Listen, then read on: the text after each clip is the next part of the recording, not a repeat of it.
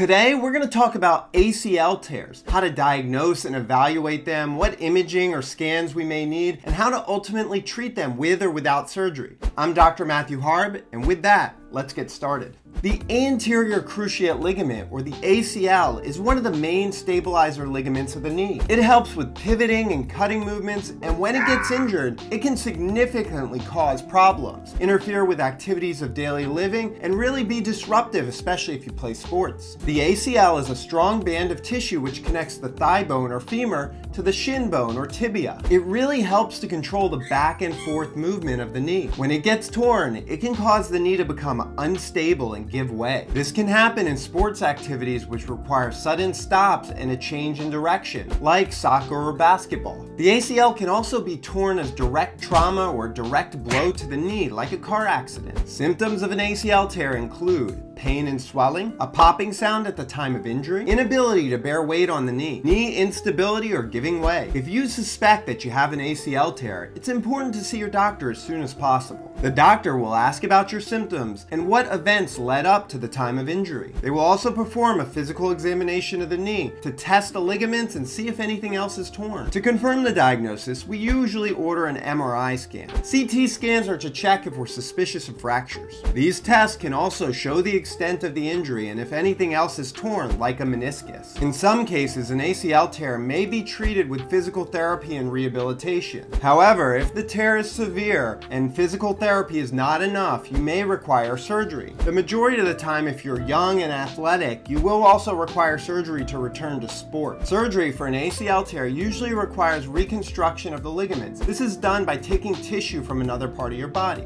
Many times we'll use the patella tendon called a bone patella bone graft or hamstrings or sometimes even quadriceps tendon. The surgery is usually performed during what we call arthroscopy, which is using a camera and tools to make a small incision and perform the ACL reconstruction. After surgery, the knee will be protected, usually with a brace, and will modify your weight bearing and protect it with crutches. The rehabilitation program will begin as soon as possible to regain strength, function, and stability. Physical therapy also usually involves a program to restore proprioception, which is your body's perception of where your joint is in space, as well as stability and strength. Therapy is usually adjusted based on each person's progress and goals. It may take several months to achieve a full recovery, and return to sport is usually at about one year. In summary, ACL tears are damage to the main ligament in the knee, which can cause instability and pain. They are evaluated and diagnosed with imaging and clinical exam. Treatment options include physical therapy and surgery. Once again, these decisions are based on the severity of injuries and your personal goals. Recovery and rehabilitation require patience and dedication, but the ultimate goal is restoring function and regaining stability. Thanks for tuning in. If you like this video, make sure to subscribe for more content that.